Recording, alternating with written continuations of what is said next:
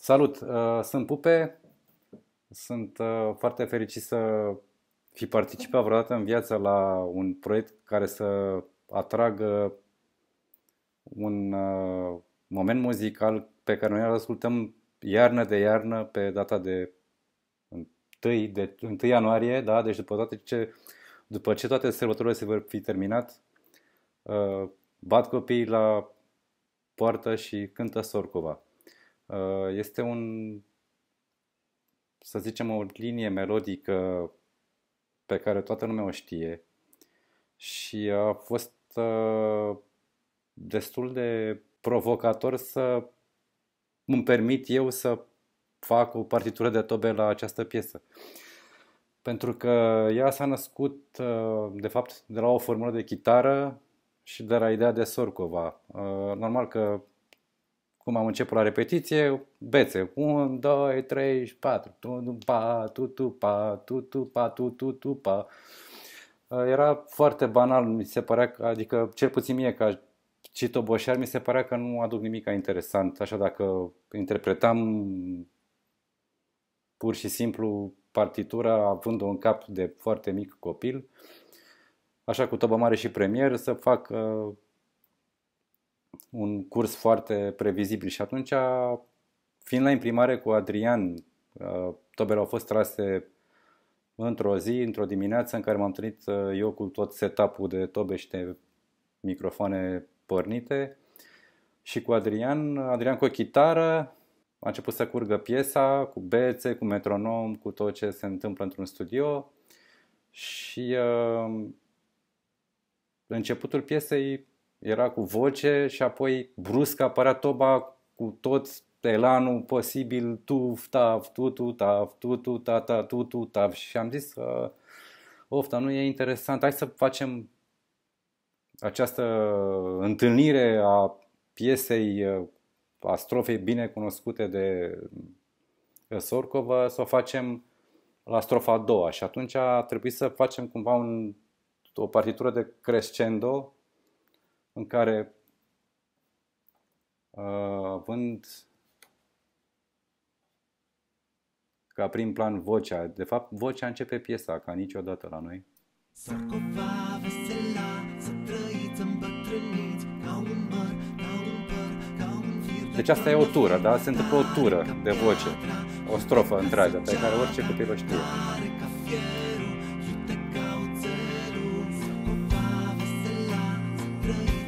Și atunci, ca să fie mai interesant și puțin mai uh, misterios în același timp, am început să am gândit gruvul așa puțin, cum ar spune Miță, ca la polis.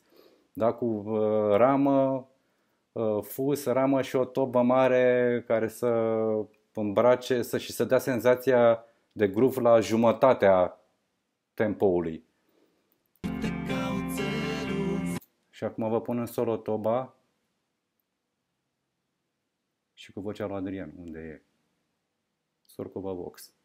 Te cauțelul, Sorcova vesela, să trăiți îmbătrâniți ca un măr, Aia se poate număra de fapt. un, doi, trei, patru, trei. Și aici este middle-ul piesei, adică primul B, în care apare premierul și totuși groove este tot la jumătate ca să începem de fapt groove piesei principal abia la strofa aceasta a doua. spune mie, vraja ta, cum să fac, să desfac toate cele fără leac, suflet de piatră. Până aici totul a apărut în regulă. În schimb, colegul meu Ciupa, de la bas, exact pe momentul ăsta, da? Ne reîntoarce puțin aici.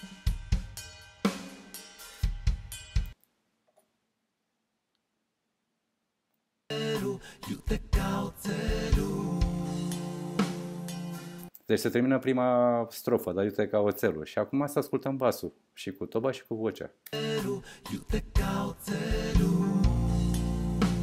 Se păstrează aceeași nuanță de jumătate de tempo, da? Deci se numără 1, 2, 3, 4. Ce linie frumoasă a făcut acolo, foarte bine punctată și aici vocea intră cu toba la dublu, da? adică la ritmul piesei.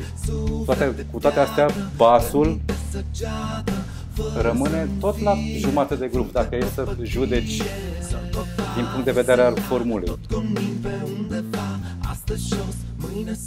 Mâine sus, toate sas și mâine nu Ține-mă într-una, tânăr ca și acum Ține-mă soare, răsărit Și după aia urmează refrenul.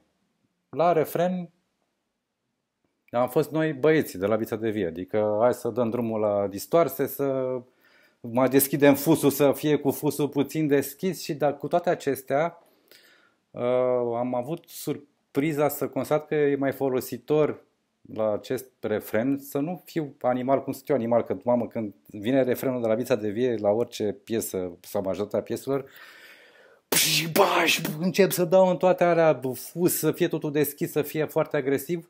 Aici totuși este puțin mai domolit și puțin mai uh, pompat, să zic, din, uh, adică se închid notele la fiecare pătrime, cumva, ca, sau mă rog, asta a fost intenția mea, nu știu dacă a ieșit.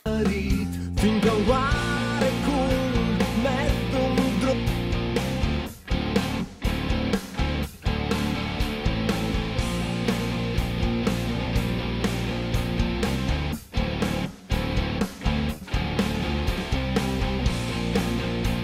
Și ideea a fost și, mă rog, că de fapt, telefonul ăsta a, a ieșit foarte ușor, ce să mai încurcăm. Am a pus și a fost uh, clar cum trebuie să-l interpretăm, inclusiv uh, groove partiturile, totul au fost gata cam în 10 minute la repetiție, nu a fost nimic deosebit.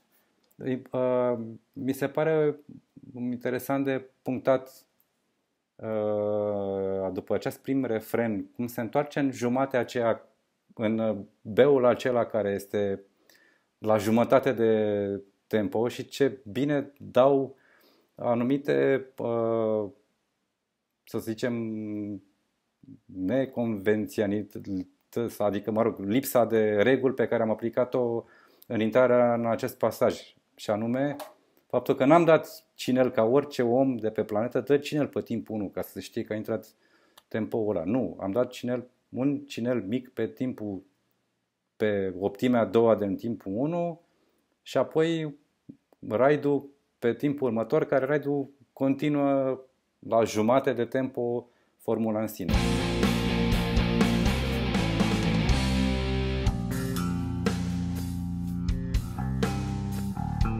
Și aici aș vrea să punctez și aici un moment care are legătură cu versurile, chiar dacă ne ascultăm bas și o tobă, uh, vocea tocmai ce a spus că aș vinde tot și aș cumpăra timp. Și ideea lui Adrian a fost, când după ce au fost trase tobele și el le avea acasă, le-a pus acasă și a scris versurile, a pus, a tras vocea acasă și a pus uh, sub tracul de tobe și ce avea el pe acolo, chitar bas acasă. Și după ce a ascultat pasajul acesta cântat de el, în care a spus uh, aș vinde tot și aș cumpăra timp, uh, i-a venit ideea de a Uh, pune peste tobe sau de a îmbrăca tobele cu reversul canalelor însele. Adică a luat toba, canalul de tobe, tot, tot grupul l-am întors invers, deci se, se citea de la dreapta la stânga și a ieșit uh, Hai că să vă pun aici că vorbesc mult și nu se înțelege ce vreau să zic. Sau niște niște reversuri așa de tome, niște chestii care te trag în spate.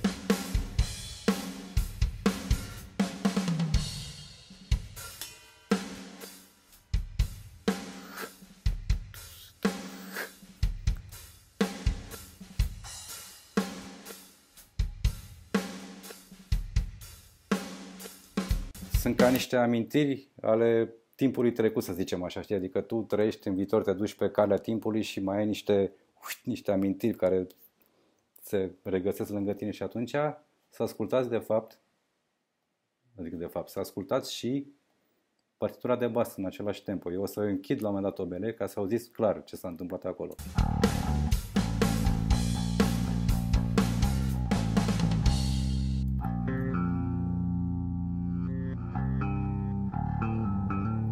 Probabil că o să vă puncteze și Adrian Ciuplea în momentul acesta, dar mi-a plăcut foarte tare.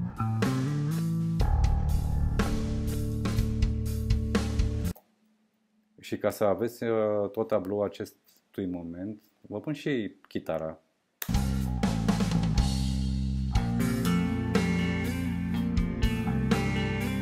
De fapt e o temă de chitară, da? pe care noi uh, o îmbrăcăm cu acest groove care este conceput la jumătate. Chiar dacă, dacă chitara este compusă la dublu, de fapt. Uh, ce aș mai putea să remarc? După aia ce mai urmează? Urmează strofa a doua care, de fapt aici începe toată lumea să cânte piesa. Uite, îi dau drumul la toată lumea.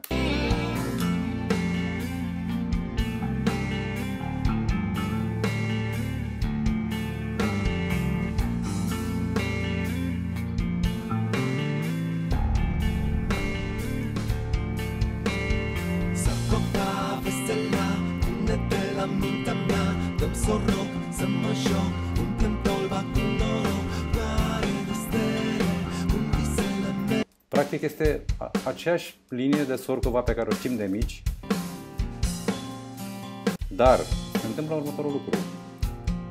Toba este uh, concepută foarte paternal, așa, adică foarte uh, matematic, tu, tu, taf, taf, tu, tu, taf, foarte simplu, foarte câte niște mici uh, înfărituri de fus uh, sextoleți învățate de la polis Uh, salut Miță, te salut și pe această cale că mi-a adus aminte că seamănă cu Polis. Uh, mi-a plăcut foarte mult Polis și mi s-a părut foarte, foarte inspirat să folosesc tehnica aceasta de fus aici pe strofa aceasta.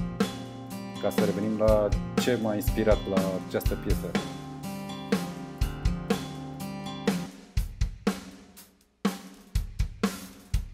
Vezi, se auză acum și se aud niște fusuri, niște chestii, dar de fapt dacă ascultați și basul, ziceți că sunt eu cu Ciuplea certat. Că el cântă o temă care este foarte pregnantă și uite, ascult-o singură. Pleci cu ea la cumpărături, știi, în cap. Te duci cu ea la cumpărături și îți cântă în cap în continuare, știi. Toba fiind plictisitor, de fapt, ce este un pututaf, știi? Și în binarea asta ritmică mi s-a, mi s-a părut foarte inspirat, de fapt. Chiar dacă noi nu cădem Știi că lumea de obicei cum face? Amă să cădem basul cu toba mare și cu basul trebuie să fie toate pe, pe toți. Ce cântă basul trebuie să fie cu toba mare. Uite-te că în cazul acesta pentru flow-ul uh, groove și al piesei în sine mi se pare foarte potrivit. Și cu chitara, uite, cu clinul. Nu avem clean. Avem clean.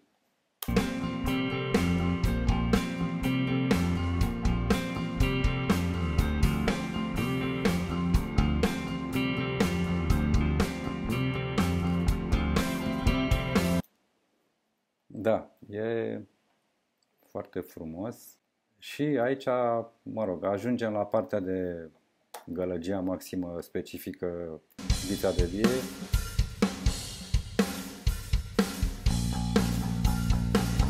Și acum începem.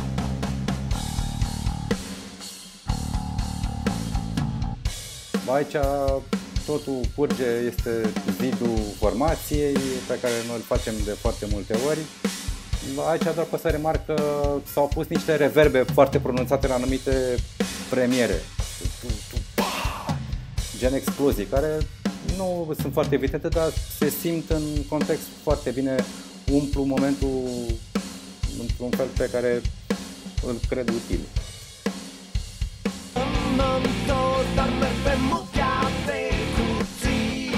Nu știu, ideea e că piesa asta e cumva nespecifică nouă, este așa oarecum un dans, dar are foarte multe chestii foarte inspirate, chiar dacă aici avem una, două, trei, patru, cinci, șase, șapte, opt canale mari și late uh, pentru explicație, pe, pe explicația pe care noi uh, încercăm să vă facem. Uh, probabil că tracurile singure, așa dacă le ascult singure, nu dau foarte mare interes, nu mă atrag foarte mult urechea, dar uh, suntem foarte surprinși, să zicem, eu am fost surprins mixând piesa asta că au fost alese sunetele de către toți instrumentiștii, partiturile au fost în așa fel încât când dăm drumul la toată lumea să fie o chestie foarte bine împachetată și foarte inteligibilă, de fapt, știi? Asta este o, o piesă foarte inteligibilă. Totul se aude foarte clar, fiecare are misiunea lui, versurile sunt absolut senzaționale. Nu știu, cred că ne-a ieșit foarte bine de data asta. Cam asta e despre Tobe. Mai erau niște chestii pe care aș fi vrut să le spun, dar poate că este prea mult și poate nu atât de interesant. Mi se pare foarte interesant că tot ce facem noi în studio are, are un sens. Adică noi facem totul cu foarte multă logică. Asta datorită faptului că am ajuns la un grad ridicat de experiență, părul își spune cuvântul. Uh, ideea este că uh, așa cum am ascultat acum aceste canale uh, împerecheate câte unul, câte două, câte toate, vă puteți da seama cam cum lucrăm noi, cum, uh, cum ne uităm noi la esența muzicii inițial când facem o piesă și cum vă prezentăm vouă ca și uh, melodie pe care o ascultați pe mediile digitale sau pe mediile tradiționale. Uh, mi s-ar părea și mie, aș vrea din toată inima să aflu, să văd aceleași filmulețe pe care noi le facem acum cu formațiile pe uh, formațiile care pe noi ne-au influențat și ne plac foarte mult și pentru noi și pe, acum este un mister cum uh, formații care ne-au influențat muzica și au fost foarte tari și suntem idoli uh, declarați toată pe viață, uh, au reușit să pună la oaltă exact aceste piste pe care noi vi le-am prezentat segmentate, să creeze un așa întreg care să ne placă și să, de care să fim dependenți zi de zi.